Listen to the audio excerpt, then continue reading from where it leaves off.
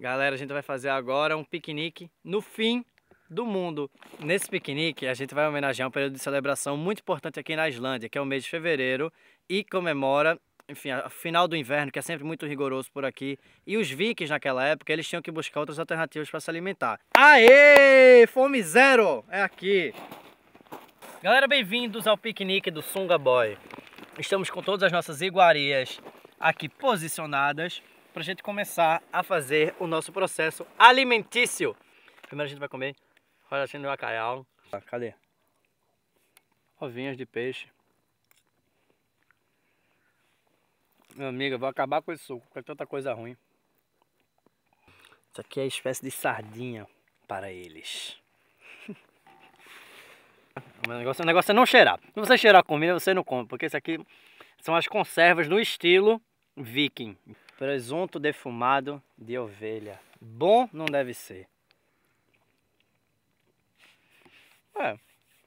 Bom, bom. Tá não, mas... Não, tá bom. É uma oveja, uma ovelhinha. E eu seria obrigado a comê-la em determinadas partes. Ah, esquarteja! É um! É dois, é três.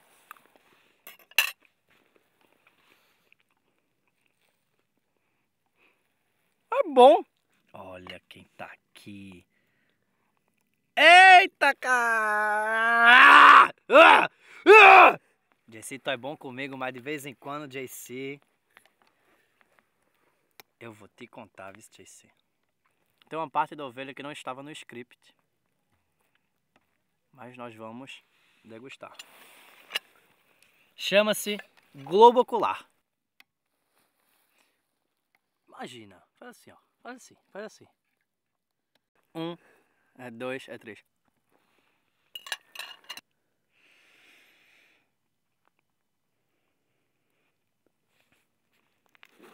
Ah!